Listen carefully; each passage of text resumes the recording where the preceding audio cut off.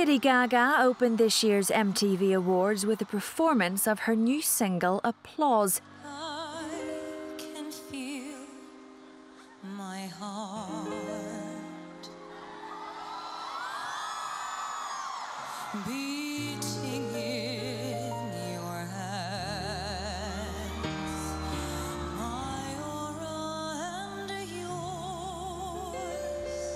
And in true Gaga style, she changed outfits four times, starting with a nun's habit before stripping to a seashell bikini.